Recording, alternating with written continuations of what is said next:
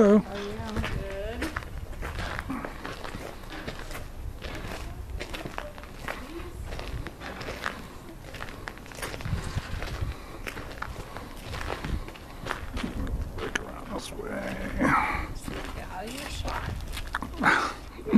Well, you can be in here. I'm just gonna, like I said, add the sound in later because. Uh... Hello, welcome. Uh, today we are at Fort Lupton, which is in Fort Lupton, Colorado. Uh, today is a Colonial Festival. We're doing a little bit of gathering together for practicing our colonial history and sending our tents. You know, it's been a long 2020 and uh, haven't been able to do a lot of our reenacting and things that we've done in the past. So we're here today to kind of gather together and spend some time in fellowship and uh, spend some time getting back into our personas and our reenacting abilities. Uh, I hope you enjoy this film today. It's uh, little bits of what we're doing and uh, some rifle shooting and other things. And if you do, uh, let us know. And I hope you enjoy.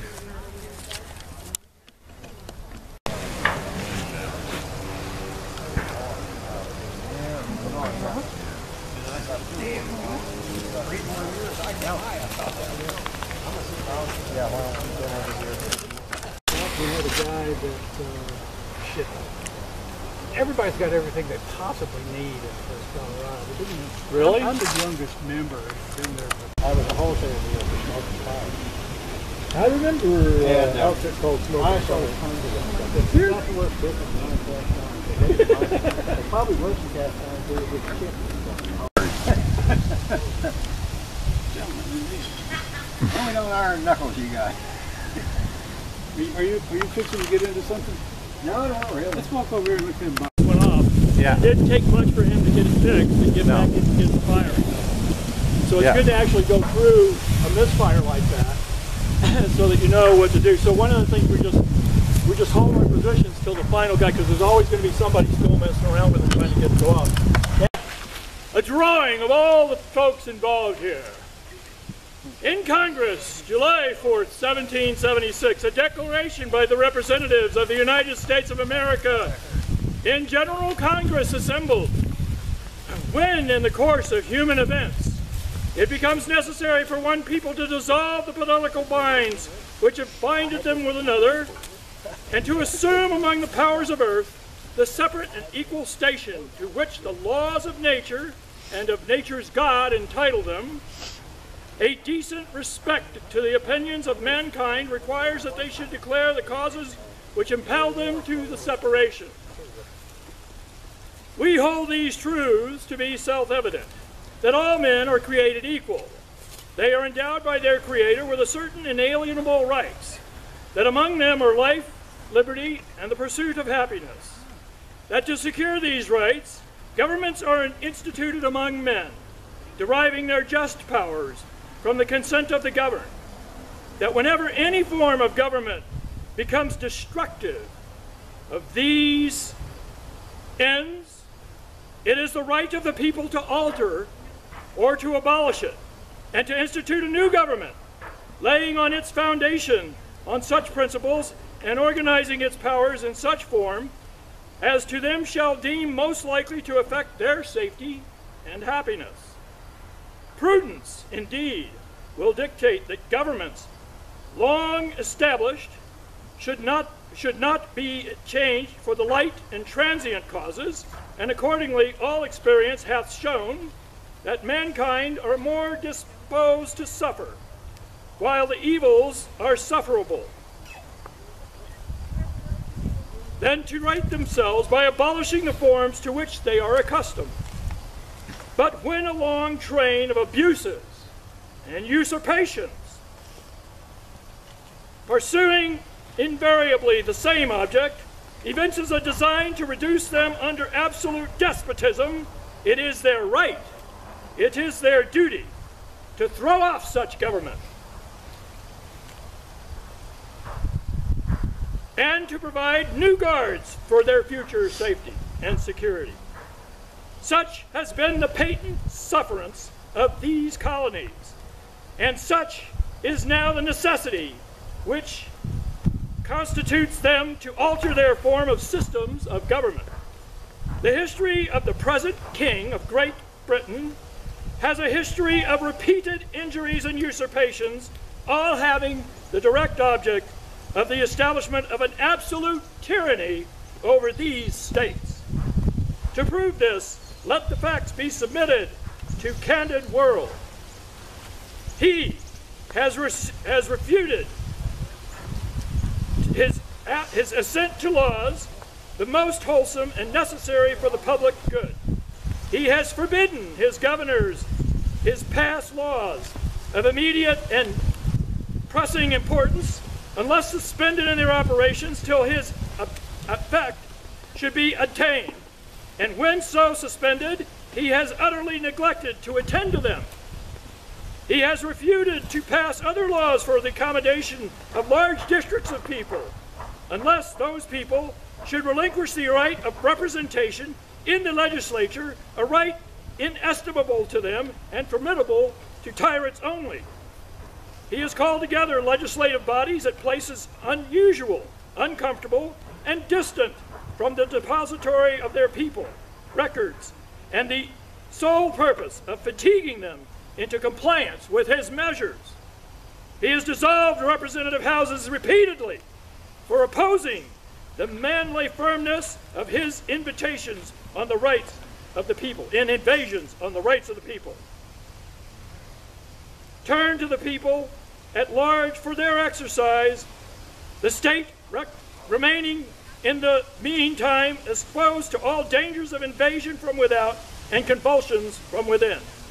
He has endeavored to prevent the population of these states, for that people obstructing the laws of naturalization of foreigners refusing to pass others to encourage their migrations hither, and raising the conditions of new appropriations of lands.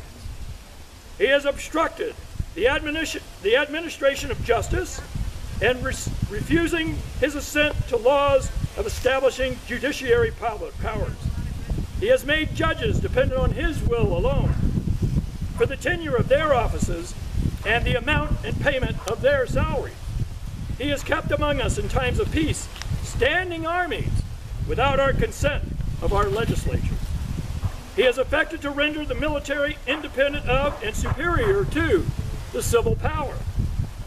He has combined with others to subject us to a jurisdiction, a jurisdiction foreign to our Constitution and unacknowledged by our laws, giving his assent to their ads of pretended legislation for quartering large bodies of armed troops among us, for protecting them by a mock trial for punishment of any murders which they should commit upon the inhabitants of these states, for cutting off our trade with all parts of the world, for imposing taxes on us without our consent, for depriving us, in many cases, of the benefits of trial by jury, for transporting us beyond the seas to be tried for pretended offenses, for abolishing the free system of English laws in a neighboring province, establishing therein an arbitrary government, and enlarging its boundaries so as to render it at once an example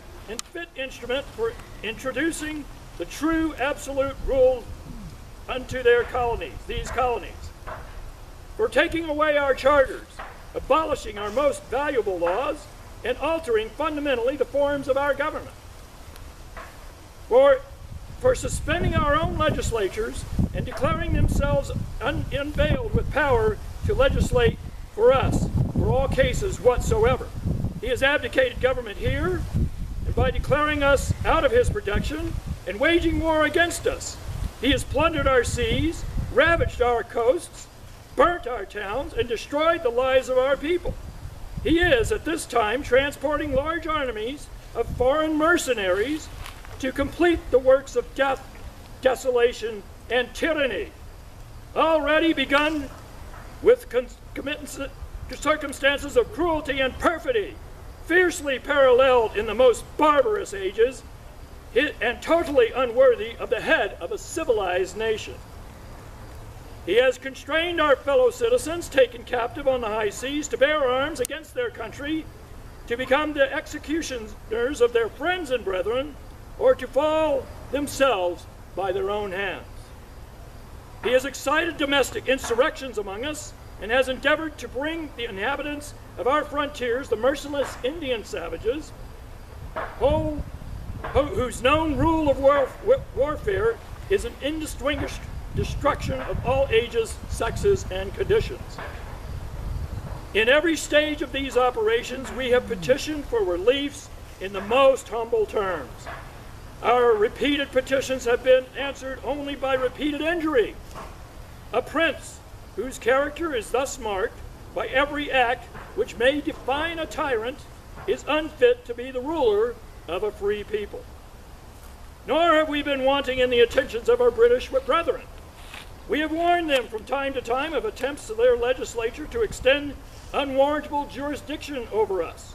We have reminded them of the circumstances of our immigration and settlement here. We have appealed to their native justice and magnanimity, and we have conjured them by, by ties of our common kindred to disavow these usurpations, which would inevitably interrupt our connections and correspondence.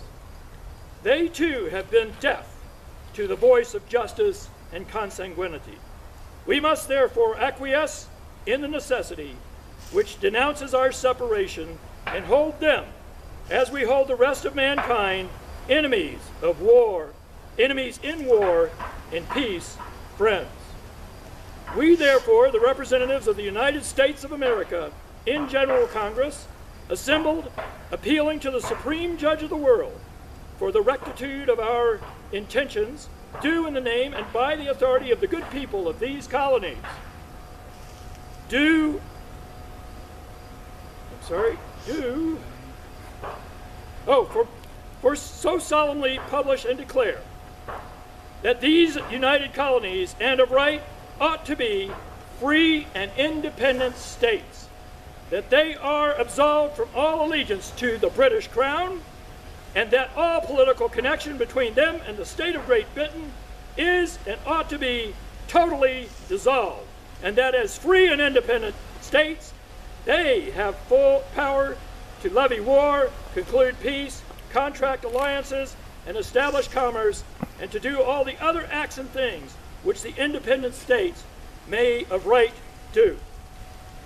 For and for the support of this declaration with a firm reliance on the protection and divine of the divine providence, we mutually pledge to each other our lives, our fortunes, and our sacred honor. Signed by order and behalf of, of the Continental Congress, John Hancock, President. Now you have it. We are now independent from Great Britain. Be that as it may, we cast our lives together and share the common fate. Thank you for attending. Huzzah! Now this is your typical Brown Bess musket. Would have been made by the Tower Arms Company in London, England. Uh, basically a smoothbore musket, 78 caliber, fires in mass, accurate about 50 yards, about an eight and a half pound rifle. Uh, most reenactors carry one of these that portray infantrymen. Now, if you are portraying an officer or maybe an artilleryman, uh, somebody of a different status than an infantryman, you carry what's called a fusil, which is a much shorter rifle. Now, this rifle can affix a bayonet to it as well uh, and make it a very, very useful weapon during the 18th century. And something that most men were familiar with as well as women.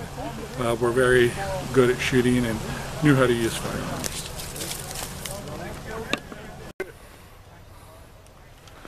I'm not going to capture any sound. I just want to see you guys shooting. So.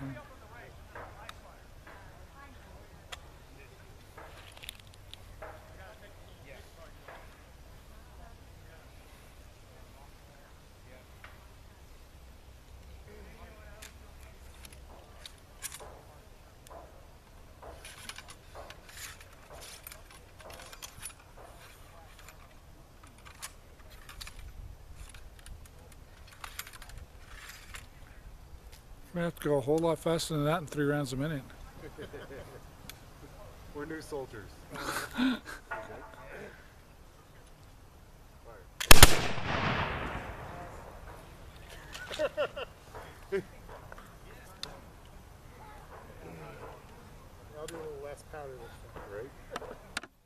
The uh, so it would uh, primer firelocks they they give you all those commands and everything. Yes.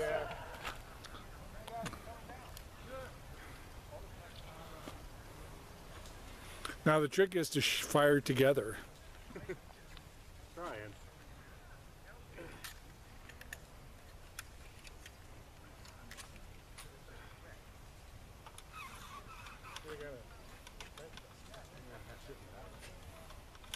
But then Crazy. Wait till you put about 25 rounds through there and the barrel's nice and hot. Yeah, we've done that with our Springfield. Please,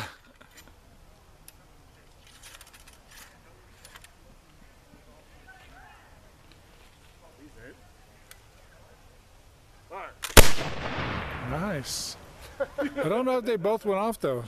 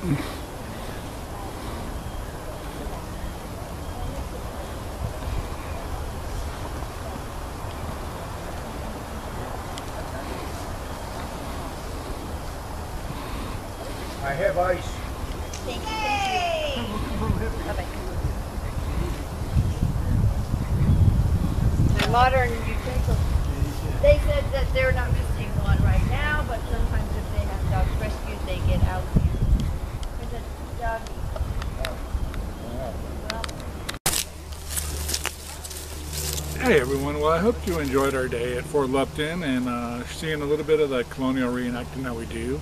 Uh, we're going to be sharing more colonial reenacting and sharing more information about what we do and how we do it and, and prepare, as well as gear and uh, the other things that we use. So uh, I hope you all have a wonderful farewell for now. like we're able to let them grow. So they had huge maples and they had some beeches and all kinds of crazy massive trees. They